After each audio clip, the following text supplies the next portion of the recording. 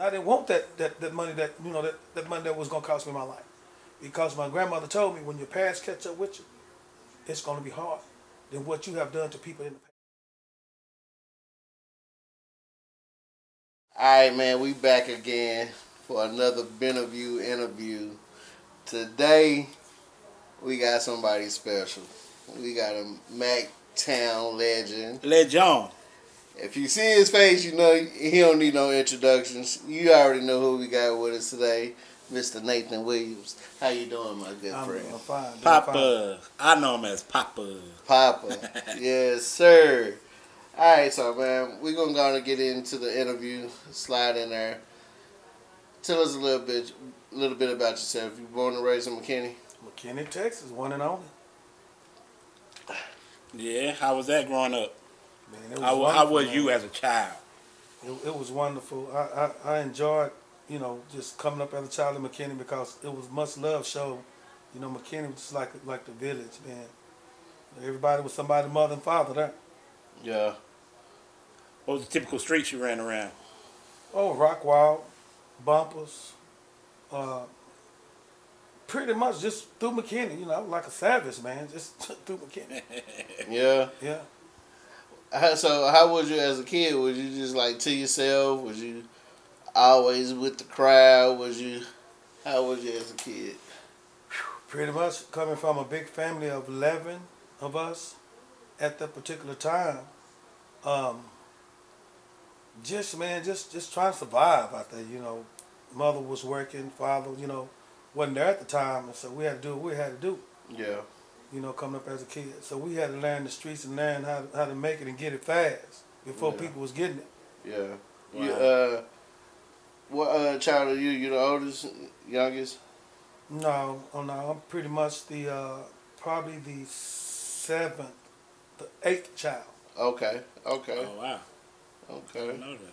How many boys, how many girls? It's four boys and uh, the rest girls. Ooh. Wee. How was it uh growing up in a house full of women like that? Well, man, you know, like I say back then, you very protective of the girls. Right. You know, being sisters and stuff, you had protected. Because so much was going on back then, just, just like it was now. But we pretty much, you know, we, we was close knit. We, we looked out for each other. Yeah. You know, coming from, you know, being poor and stuff, you know, we just, you know, looked out for each other. Yeah. Did you know y'all was poor at the time, or that was just how life was? Uh, pretty much, yeah. You know, pretty much I, I, I did, you know, because when Christmas came around, you could pretty much tell things weren't what they're supposed to be. So Christmas told the story, Okay. you know. Okay. How'd you tap into sports? Like, um, when, when you were a boxer?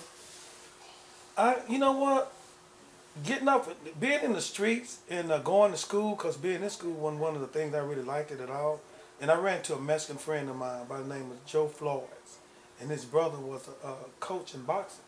And then having a friend of mine who's James Kitchen come up in our community, Okay. you know, hooked up with them and started boxing. So James kind of pulled us all that was out there ripping and running into the game of boxing. And so that's how I got started in that with James and, and Barney Flores and all them. Okay. Was you pretty, was you any good? Pretty much, man. I, I, I, I you know what? I, I can handle, I can, I can handle miles. I can handle no problem with nobody. I mean, you know what? Be, be honest with you. Most people don't know it, but most boxers get beat up real bad. If you look at me, I'm just like, you know, I'm not one and only Ali, man. I, look here, I'm not beat up in the face. Yeah. I mean, I handle mine. So if you came with me, you're gonna have to bring it too. So you know, you have to bring it down. Yeah. Yeah. Okay. So what was the uh, culture of McKinney like? I, I keep hearing you saying ripping around the streets. What was like the culture of McKinney like at the time? man, the coach of McKinney was, it was everybody was territory. You know, you had you had Rockwall, you had Louisville, you had the Run, you had Lively Hill, and you had Central, and everybody came up in in, in, in McKinney. There was all of those names I named African American people lived in those communities, and so when we got together, you know, we was kind of like colliding. If like you know, we was at war with each other for some reason. I don't know what what what that was all about. We was always fighting each other. Okay, so I was born in '87, and I know growing up in the '90s, it was just like that. So around what time are you talking about? Oh man, we we talking about around the seventies, around about the seventies and stuff. wow, it go back Like that deep. sixties and seventies, like sixties and seventies. Okay, Wow. Generational. Generational, yeah. That's exactly what that is. You know, and everybody had you know had a nickname. So you know, and sometimes you know you know you was wanted by the police, you definitely had to have a nickname. Yeah. Yeah. You still got your, you still carry your nickname Pretty today? much people, man, still recognize me as Playmate. Okay. Uh, some of them call me the corporal, you know, because I started a gang, a, a bicycle gang with people. You know, we people, you know, they laugh out bicycle gang, man, that's weak. But what they, you know, we pretty much stronger than anybody that was that was in the gang. We had pistols, and you know, we did our thing. We we stole, we robbed. There's some things, you know, we did. But, Yeah. you know, What was the name of it? the Black Zodiacs The Black from Zodiac. McKinney, Texas. Okay. Okay. Uh, somebody else mentioned the black. Yeah, my pops uh, mentioned the Black Zodiacs. Black Yeah. before. Zodiac. Oh, John John. John John. Shout out John John. Yeah, shout out John John. Yeah. John John Yeah. mentioned that. So, I've asked this question before, but let me get your perspective on it. At what point did the gang culture even come to McKinney? For your generation. we just it started because we was you know we was a rivalries against other communities in that in that little town Mm-hmm.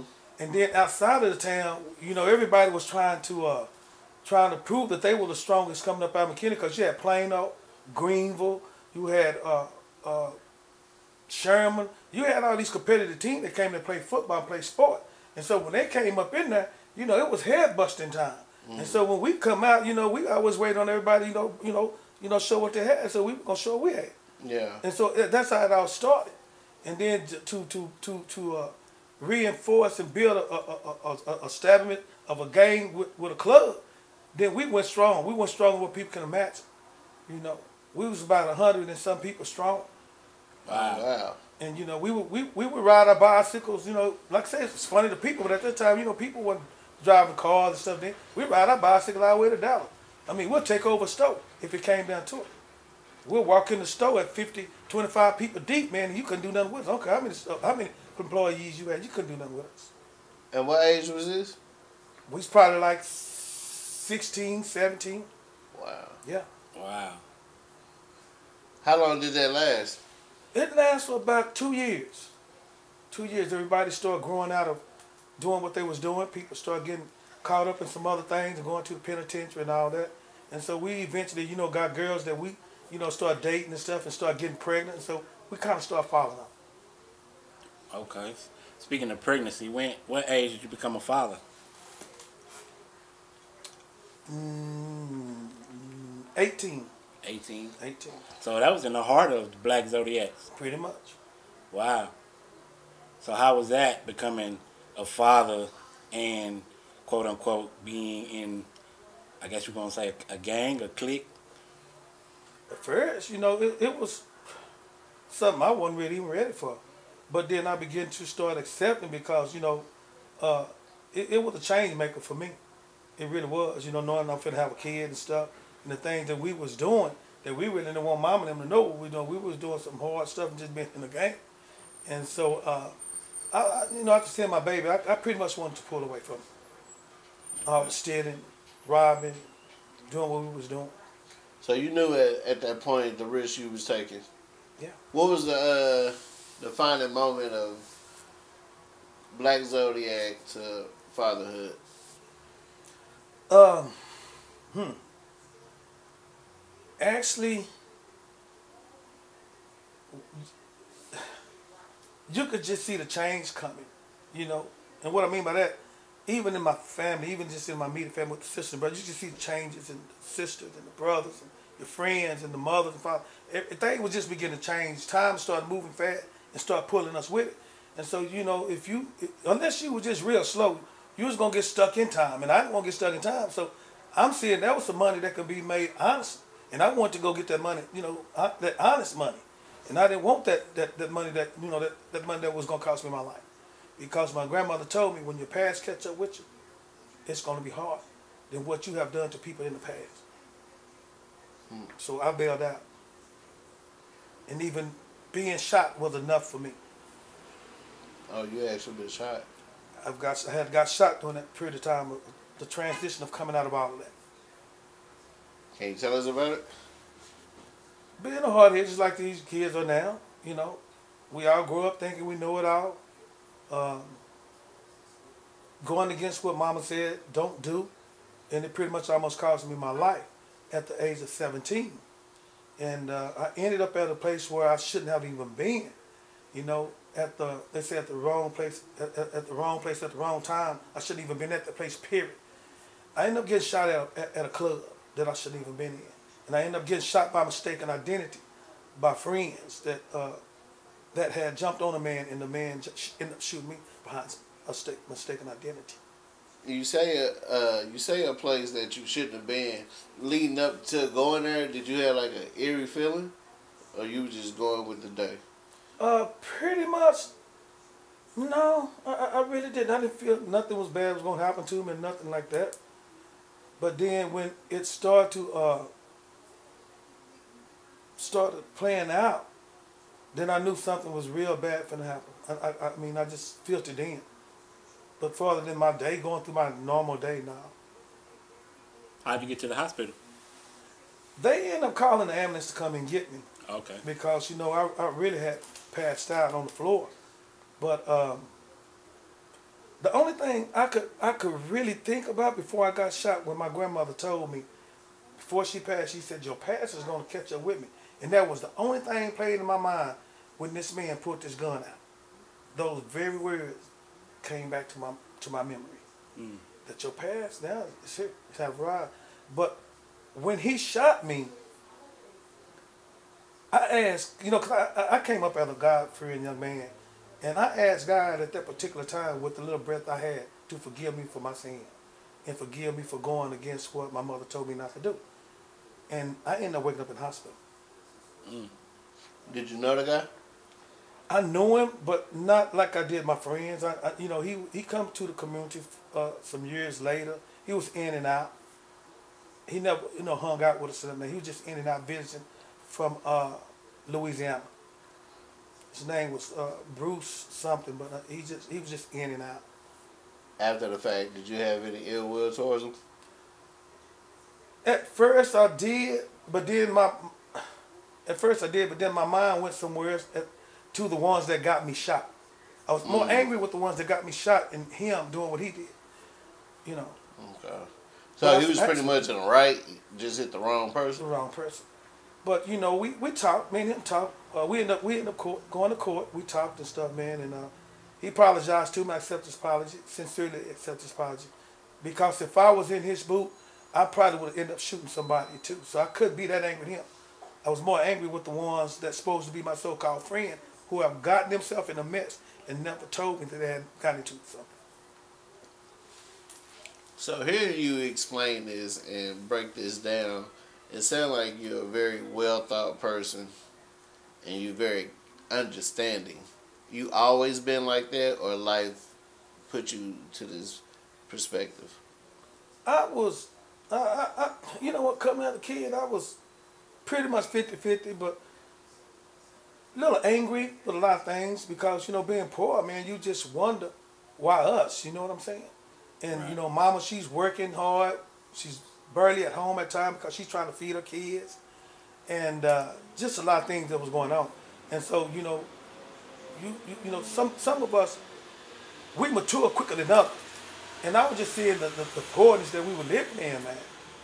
And so I had to make a move myself. So I was pretty busy, bitter, but I, I ended up finding myself doing something about it even then. Even being seven, eight years old, I end up doing something about it. That's when I begin to start finding, learning, you know, to really steal and take control of my own life. Steal and take control? Stealing, stealing, oh. stealing, and taking control of my own life. I had brothers and sisters, you know, that was young. They had to eat, man. We had to, we had to eat.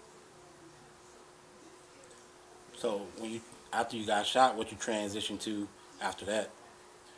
Well, it wasn't something that I chose, but um, God, I, I, I went to a revival one night, and uh, I heard this man preaching, man, and for some reason, man, you know, the Spirit of God hit me. the Spirit of God hit me, and it, it, it just did some things to me, man, you know. It, it took that part that I couldn't get rid of myself out of me to make me know that, you know, I was special. Even being poor, you know, let me know I was special. Did you know it was uh, know it was God at the moment? Yeah. I did. I How? did.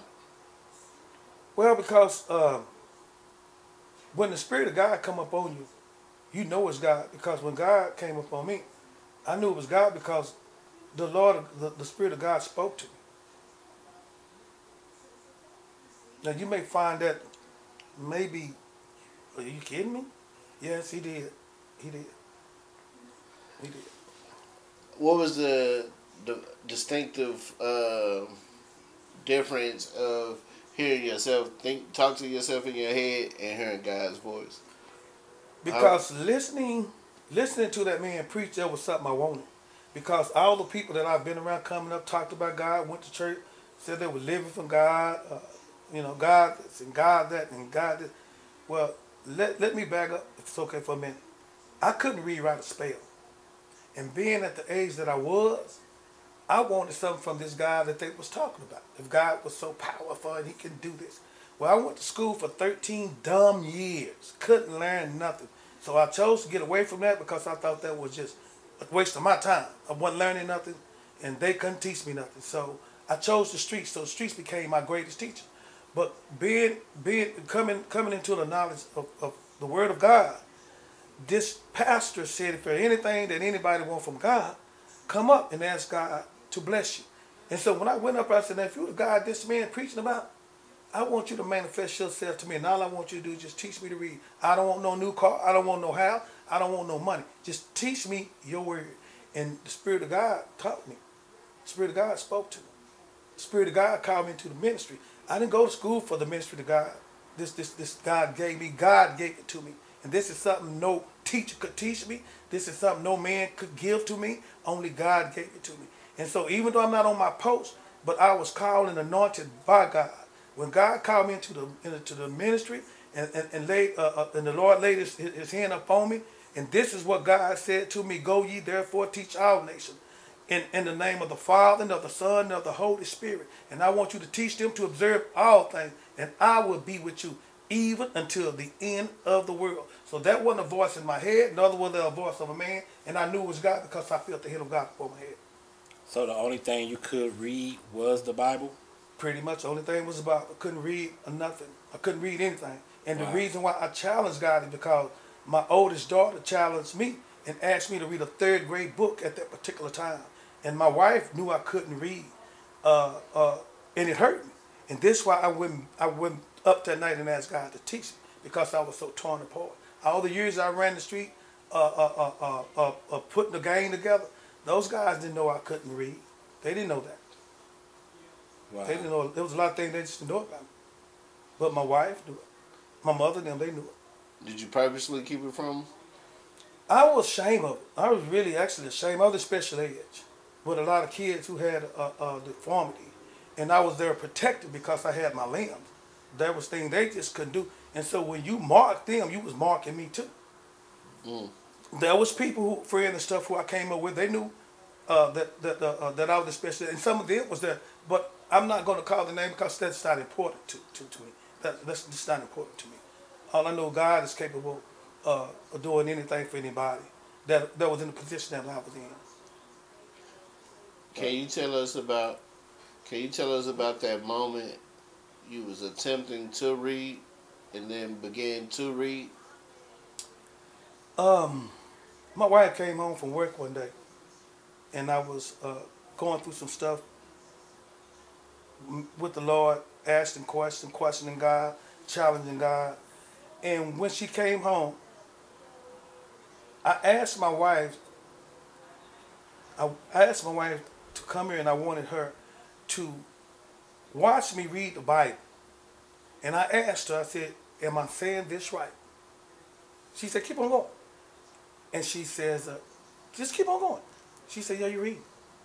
And that's when I broke down in tears and started crying. She said, read some more. Just just just read some more for her. And so I started reading and reading and reading. And then I know then God had delivered this package. What's your wife's name? My wife's name is Vonnie Williams. Amen. Yeah, Mm. That's what I know. And I also read one thing in there that was very important to me that I shares with people who can't read.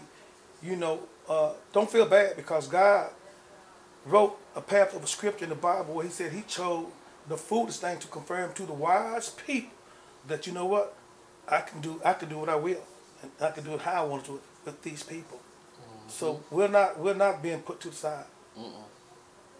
So did you accept that calling at that time? Yeah, yeah, accept my calling and everything. You remember what scripture you read? Um, actually, I was over in the book of Jeremiah, and I got so excited I was just all over the Bible because uh, the church was having a Bible drill. So I'm, I was pretty much when I read, I was just all over the thing because I was nervous. You know, just nervous, just running through the Bible like a kid in a candy store. You remember the first time you read out loud to other people outside of your uh, family? Yeah. Was yeah. you nervous? I was nervous. I was nervous. I was nervous. Uh, I just had butterflies. I mean, just knowing the guy that called me, I didn't know if people would believe me because you know my past and this and that. But you know, I, I you know I had talked to my uh, daddy and I had talked to my father-in-law about it, and uh, but there was someone had seen that vision of me ministry, but they never told me I was called to preach. God Himself laid the anointing, put His anointing upon me. You said something that just made me think of something do you think you have fully healed from your past? Well, no, because I walked I, I walked away from my post from God, and when you do that, what you do, you fall back into a world of sin, and that's what we, what what God called it being disobedient. I have a mission uh, that God had called me to be on, and I feel I'm, I'm feeling I'm feeling God I'm feeling myself short of it. So I need to get back on my post, and I'm not in denial about it. I think this is why God put uh, repentance back, put repentance in the Bible, so that we can come back to the fold and get back on. The, I call it the art of safety. Now people call it going to church and being in church, but I call it the art of safety. Mm. What was, if you want to talk about it, what was the situation? that made you walk away from your post? It was a lot of things, but one thing, uh, pretty much, I fell short of uh, doing what God told us to do, and most people don't do this. Most people don't do what God tells them to do, and they don't see the, the shortfall. I fell short because when Jesus came preaching the word of God, in order for us to stay strong in God, we have to read to feed the, to feed our soul and spirit. We have to fast to keep the soul and spirit strong. And these are the things that we have to do in order to stay strong in God. And if we fail to do these things, I'm gonna tell you right now, you're gonna end up back in the hog pen. Now, now, now, listen to this and listen to listen to me real close. See, you may get offended by be called by people calling you an animal. The word of God call you a dog when you go back and eat your own eat your own vomit. And so that's what I mean. I, am I'm, I'm a dog, just just in my own vomit and stuff, and I acknowledge it. Oh so yeah. Now I can pretty much beat anybody in domino. So. Oh yeah, so so you the king around here, huh? Pretty much, man. People, you know, they, they, they you know they got themselves ranked where they where they want to be at. I, am fine with. I'm gonna stand as the one and only king in domino.